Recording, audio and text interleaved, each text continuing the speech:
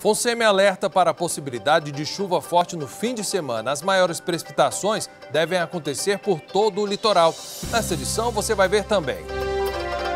O alerta na saúde após a confirmação da primeira morte por meningite este ano no Ceará. A meningite tem uma alta taxa de mortalidade e também de sequelas. Por isso é preciso ficar atento à imunização e também aos sintomas. Comemoração pelo Dia Internacional da Mulher, celebrado nesta sexta-feira. A Casa da Mulher Cearense será implantada nas principais regiões do estado. No futebol, Fortaleza bateu confiança em casa pela quinta rodada da Copa do Nordeste e assumiu a liderança do Grupo A. E tem dica de lazer para o fim de semana. É a exposição Memorial Cine Mora, em cartaz no Centro Cultural Casa Barão de Camusim. O Jornal da TVC está começando.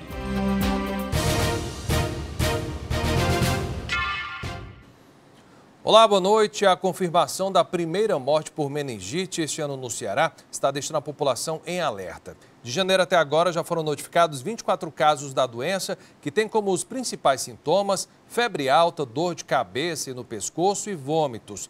Em alguns casos, também aparecem mal-estar, rigidez na nuca e manchas roxas no corpo. A indicação é procurar atendimento médico o quanto antes. Emanuel Bruno.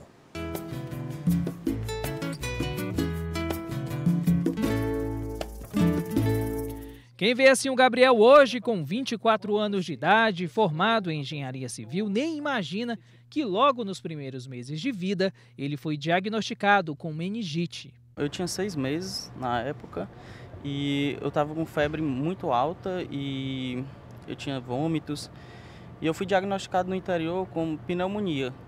E minha mãe retornou à casa e é, os sintomas é, continuaram, permaneceram e minha mãe ficou preocupada com, e foi aí que ela veio para Fortaleza. Fiz o exame, fiz uma pulsão e deu 100%, que eu tinha meningite. E de lá eles me encaminharam para o Hospital São José, onde eu fui internado, passei 11 dias, um hospital de excelente qualidade, onde eu fui muito bem tratado.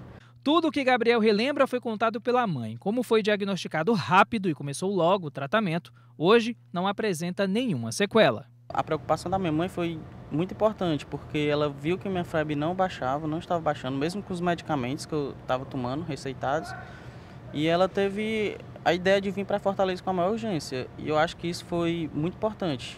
Esta especialista explica que o problema atinge o sistema nervoso central e a inflamação dessa parte do corpo pode acontecer por diversos fatores. Todo mundo tem já a Neisseria meningitidis, que é a, a, bactéria da meningite na garganta, todo mundo tem. Você pode ter a meningite por uma gripe, por uma sinusite, por uma pneumonia, então tudo isso pode levar ao agravamento desse quadro e você ter essa doença. Tem a meningite viral, tem a meningite bacteriana, então a gente é, se preocupa mais com a meningite bacteriana, obviamente, né, que é aquela que tem uma progressão muito rápida, principalmente para crianças em 24 horas, pode inclusive levar ao óbito.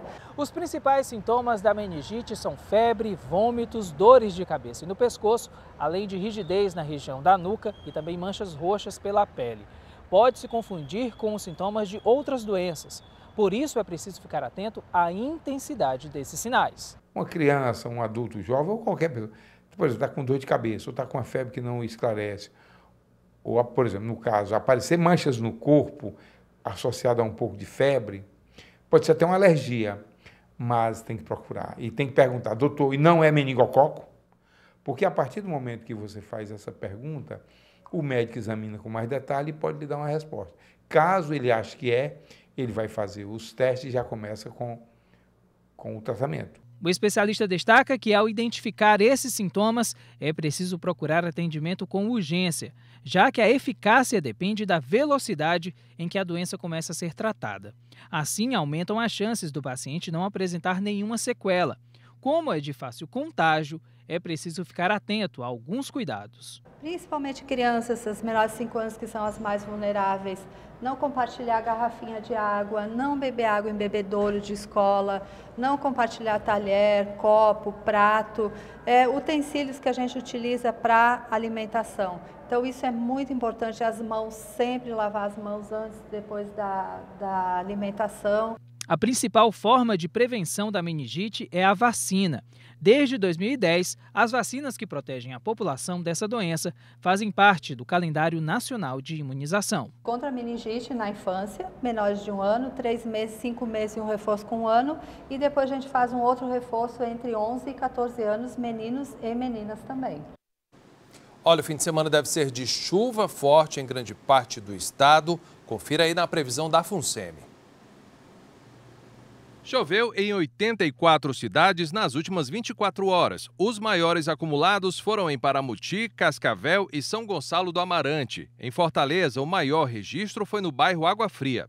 A previsão do tempo para amanhã é de nebulosidade variável com chuvas isoladas na faixa litorânea, Serra da Ibiapaba e Maciço de Baturité. Nas demais regiões, a possibilidade de chuva.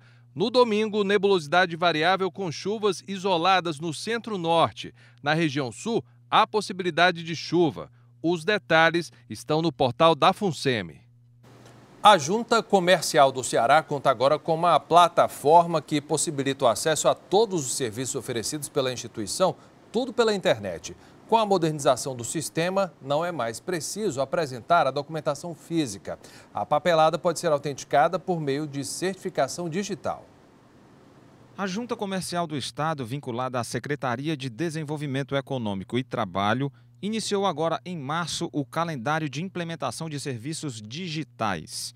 A medida vai facilitar vários processos, como abertura de empresas, a Junta Comercial tem trabalhado políticas e desenvolvido projetos que buscam a melhoria do ambiente de negócio do Estado.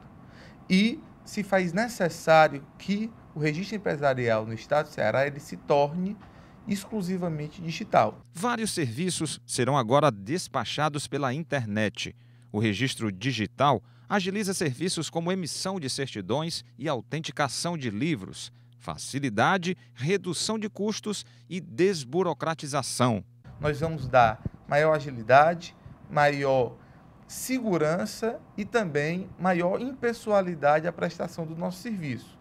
E nós visamos, com essas medidas, reduzir o prazo de registro aqui dentro da junta comercial para 24 horas. Facilidade para o trabalho do principal profissional do dia a dia da regulamentação de empresas, o contador.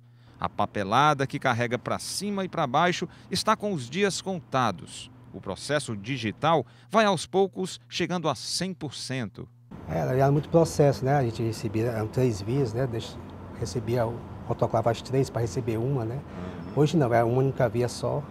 E a, e a gente, você acompanha o processo digitalmente, né? Pelo, pelo site, né? Rodrigo perde as contas de quantas vezes precisa ir até a junta comercial resolver questões ligadas à empresa para a qual trabalha. Com o processo digitalizado, já diminuiu e muito as idas e vindas na rotina de trabalho, economia de tempo e de papel. Você vê que 8 e meia já está aqui na junta comercial, dando entrada em processo, resolvendo problema. Tá aqui, e não, a gente sabe que pode ser a primeira, a segunda, pode ser a terceira.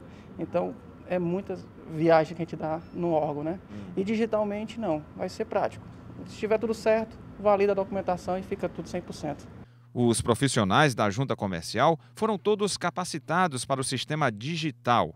É a tecnologia diminuindo a burocracia de importantes serviços. A emissão de certidões, nós disponibilizamos a opção de registro digital desde 2007 e agora nós estamos dando início à última etapa do processo de transformação da junta comercial do meio físico para a junta comercial digital. No próximo bloco, você confere uma reportagem especial sobre a luta das mulheres pela igualdade de direitos.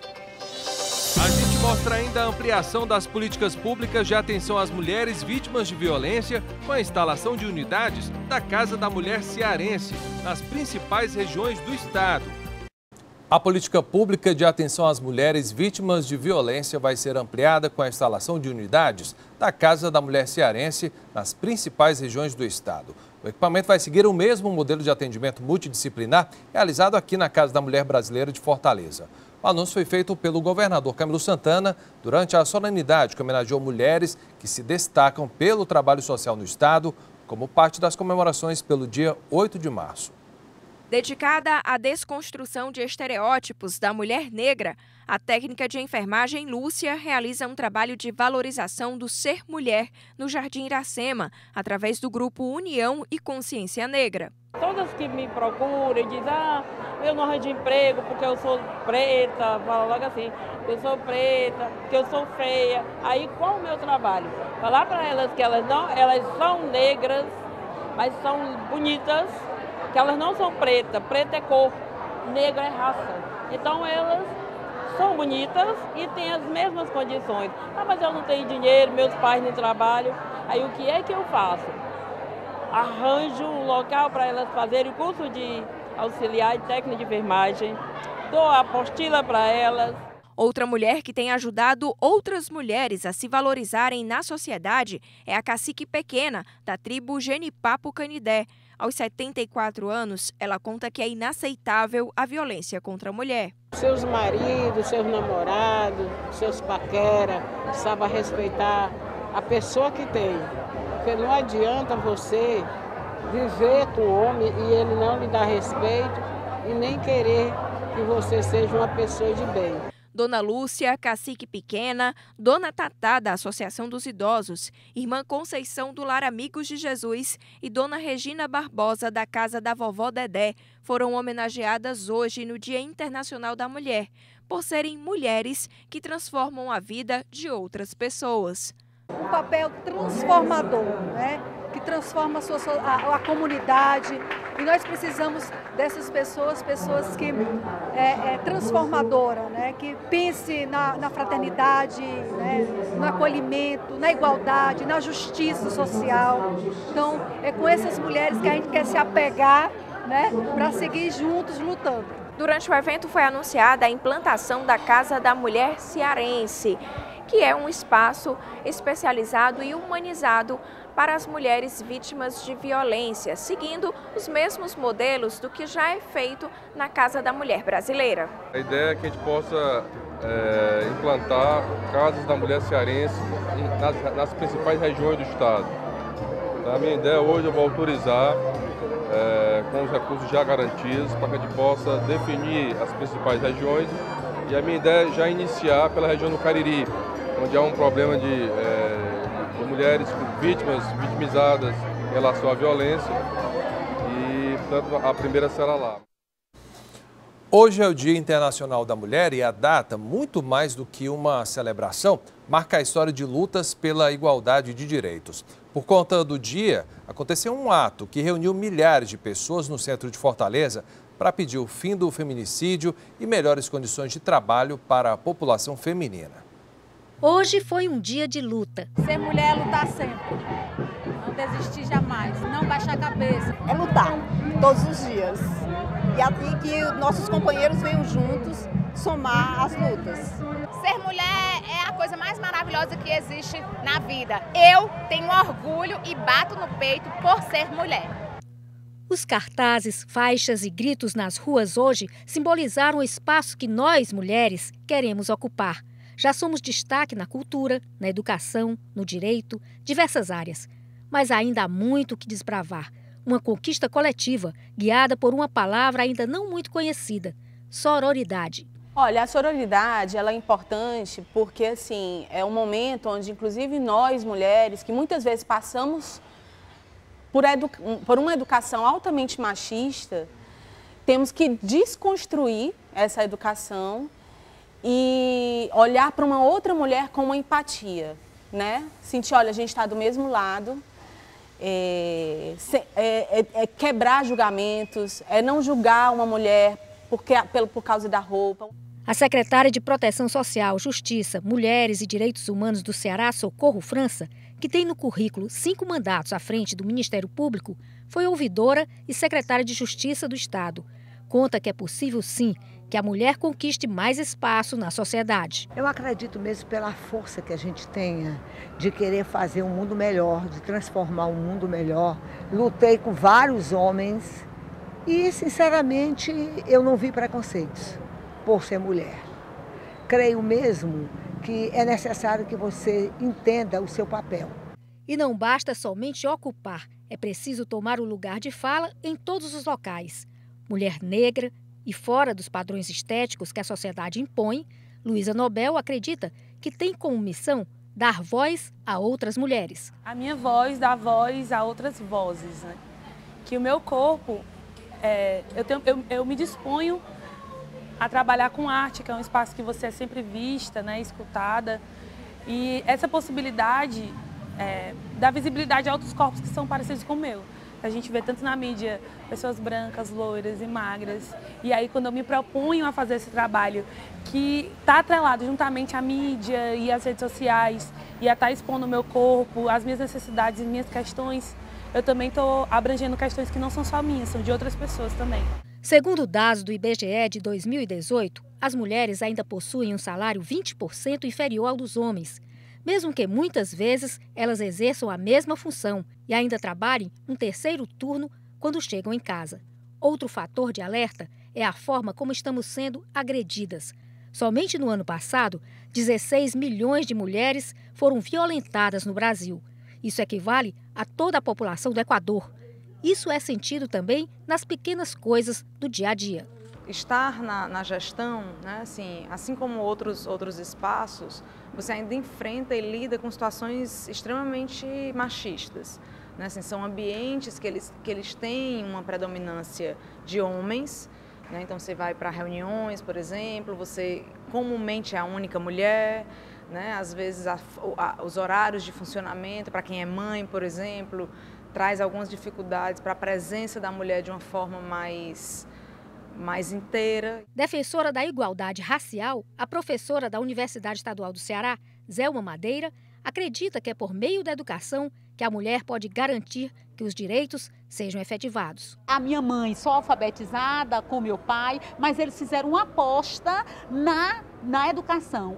Então, mesmo que no início da minha vida escolar tenha sido muito difícil, eu dei um trabalho enorme para estudar. Não quer dizer que eu não era uma criança, uma jovem inteligente. Era, mas eu não dava conta dessa educação formal por conta desses procedimentos e minha família não entendia o que é, que algumas pessoas chamam bullying, né? Mas eu chamo mesmo de racismo, racismo estrutural. Então, foi a partir dessa minha profissão, ser um assistente social, trabalhar com os problemas sociais, daí eu, eu fundei, né? Nós fundamos um NEAB, um núcleo de estudos afro-brasileiro dentro da UES.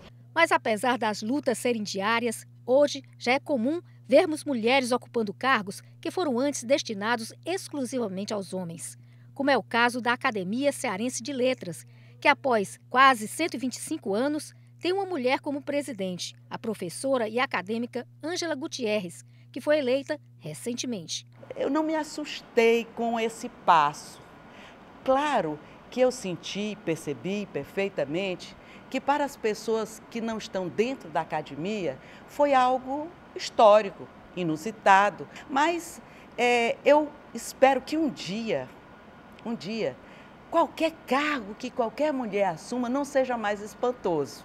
Agora, eu acho que sim, como ainda há restrições e alguns limites, para a mulher, é importante sim que isso seja realçado. Porque se eu abro uma porta, para, como mulher, abro uma porta, estará aberta para outras mulheres. E isso é importante. Voz, é disso que precisamos. Não no que diz respeito à capacidade sonora de ouvir ou escutar, mas sim no que toca à nossa presença, aos nossos direitos, à nossa vida. Quanto ao homem, ele não pode se omitir. Ele não pode se achar superior. Ele não pode nos calar. Na televisão a verdade não importa. É preto favelado, então tava de pistola. Parabéns a todas as mulheres. E a seguir tem o futebol. A gente traz as principais informações do primeiro Clássico Rei do ano, domingo na Arena Castelão. Você vai ver também. Fortaleza bateu confiança em casa pela quinta rodada da Copa do Nordeste e assumiu a liderança do Grupo A. e tem dica de lazer para o fim de semana. É a exposição Memorial Cine da Mora, em cartaz no Centro Cultural Casa Barão de Camusim. Daqui a pouco. Futebol, 571 policiais militares vão garantir a segurança na Arena Castelão e em torno no primeiro Clássico Rei de 2019. O esquema do Batalhão de Policiamento de Eventos também inclui equipes policiais nos terminais de ônibus. O efetivo ainda vai contar com o apoio da Polícia Civil, Corpo de Bombeiros, Autarquia Municipal de Trânsito e Cidadania e a Guarda Municipal de Fortaleza. O encontro dos dois maiores times do estado acontece domingo, a partir das quatro da tarde. O repórter Leonardo Marinho fez um balanço das edições anteriores deste clássico. O duelo pelo campeonato estadual em 2019 vai ser o primeiro, com os dois clubes carregando uma história centenária. Mas o primeiro jogo entre os dois foi em 17 de dezembro de 1918, com a vitória do Ceará por 2 a 0 em partida válida pela extinta Liga Metropolitana de Futebol.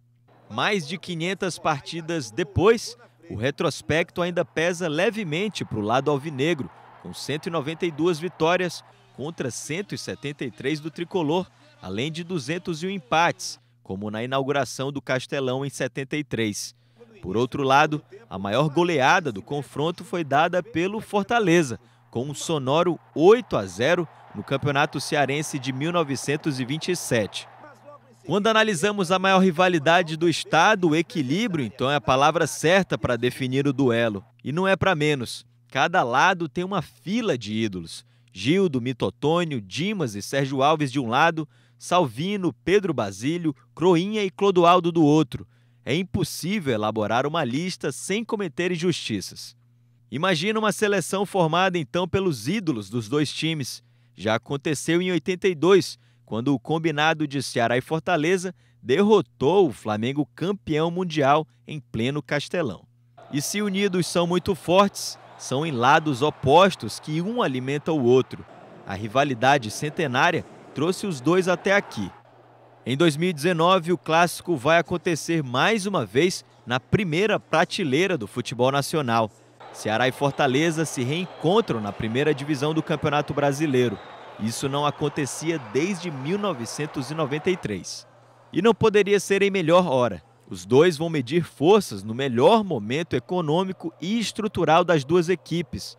Elencos milionários, estrelas de primeiro escalão. O alto investimento faz com que a estrutura da dupla não deva nada a de outros times.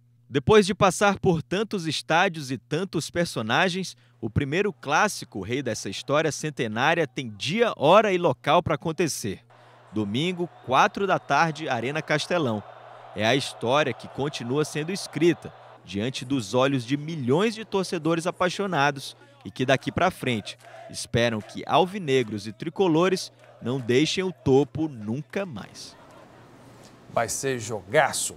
Pela quinta rodada da Copa do Nordeste, o Fortaleza bateu confiança por 4 a 0 em casa. Com o resultado, o Leão assume a liderança do Grupo A com oito pontos. O Confiança ficou em sete na vice-lanterna do Grupo B. Germana Pinheiro. Alteração, reação e resultado. Ingredientes de uma mistura perfeita e que deu certo para o Fortaleza. O tricolor conseguiu quebrar o jejum de vitórias e com tranquilidade com golaço do Edinho no início da partida, com a produção que o treinador tanto exalta e o Júnior Santos num dia inspiradíssimo. E se duvidar, esse primeiro tempo foi um dos melhores do tricolor nesta temporada. Se não da equipe inteira, com certeza foi do Edinho. O Oswaldo trouxe essa leveza para a linha de frente do Fortaleza. E sem dificuldades, o grupo de Rogério Ceni voltou para a segunda etapa. E bastou nove minutos no segundo tempo para o Júnior Santos ampliar, golear e servir, fazer o que quis no jogo. O Fortaleza ainda chegou a marcar mais um com o Marcinho, mas o gol foi anulado. A vitória coloca o tricolor na liderança do Grupo A da Copa do Nordeste e, sem trocadilhos, acaba dando mais confiança para o Leão, para o Clássico Rei do próximo domingo. A gente traz agora uma dica de lazer para o fim de semana, é a exposição Memorial Cine da Mora, em cartaz no Centro Cultural Casa Barão de Camusim. A repórter Soraya Santos foi lá conferir e mostra tudo pra gente. Uma mulher além do seu tempo. Assim era Fideralina Correia de Amora Maciel, mais conhecida como Sinhá da Mora. Natural de Lavras da Mangabeira, a escritora cearense nasceu em 1906 e ultrapassou os parâmetros esperados de uma mulher do início do século XX. Para que a população conheça um pouco mais dessa mulher que foi tão importante na cena das artes plásticas, a Prefeitura de Fortaleza, por meio da Secretaria Municipal de Cultura, dedicou um espaço do Centro Cultural Casa do Barão de Camusim, no centro da cidade, ao acervo da artista. A gente privilegia a coleção numismática, né, das medalhas, todas as comendas que ela ganhou em vida. Também nós temos a parte documental, que são os é, é, os documentos né, e também os diplomas que ela ganhou. Fora as telas que nós contemplamos aqui visualmente, né, que foram telas pintadas por elas e, e, e dadas também por amigos, né, que são autorretratos e, e retratos feitos por amigos. O material foi doado pela própria Sinhada Mora, em vida, ao município de Fortaleza. Primeiramente, elas estavam dentro do centro de referência do professor, no antigo centro de referência. E ela, há 10 anos atrás elas foram retiradas de lá e foram guardadas dentro do acervo da Prefeitura de Fortaleza, dentro da Secretaria da Cultura de Fortaleza.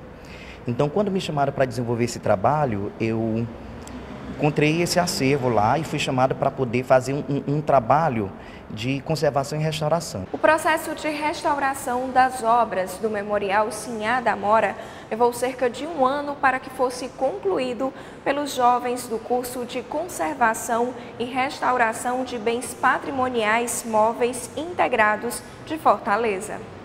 Em uma das salas dedicadas à exposição, encontramos cavaletes para pintura com quadro branco, um convite aos visitantes para fazerem sua própria obra de arte. Na exposição há ainda uma réplica do ateliê da artista e os visitantes também são convidados a terem uma experiência digital com um catálogo que contém informações e aspectos da carreira de Sinhá, bem como um QR Code do acervo bibliográfico não exposto, todo online. A pessoa que recebe o catálogo, ela clica nesse QR e todos esses dados estão online, uma plataforma online.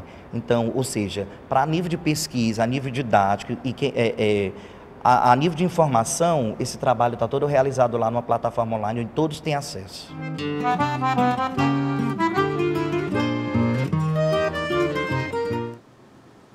Outras notícias às 9h15 da noite no Jornal da Cultura.